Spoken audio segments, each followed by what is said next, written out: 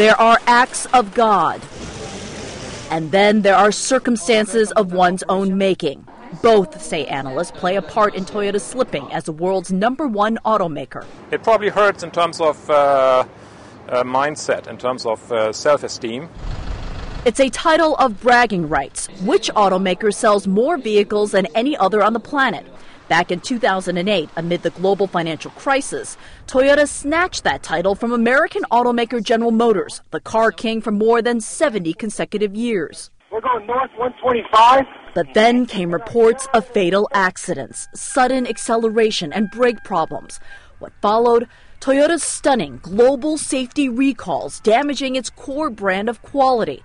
The head of the company hauled before U.S. lawmakers to answer questions about safety. I am deeply sorry. Just as Toyota appeared to be recovering financially, the March 11th earthquake and tsunami knocked out critical part suppliers for Toyota.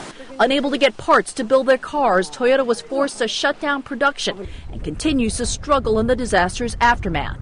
Auto industry watcher Stefan Lippert says it's time for soul searching in Toyota's boardroom. They can either embrace it and say, okay, that's good for us because it helps us uh, become a more profitable company, or they can say, okay, we want to pursue the old strategy, the traditional Japanese way, go for market share, market share, market share, even if that means we make no money, um, try to regain the number one spot.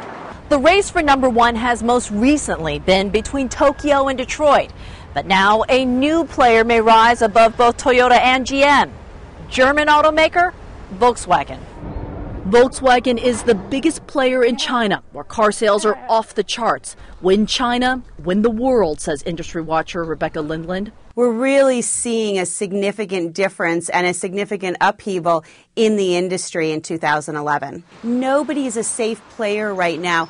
Everybody should be looking over their shoulder and nobody should feel secure in the marketplace because we are under a tremendous transitional phase. Toyota had no comment to CNN on the sales race.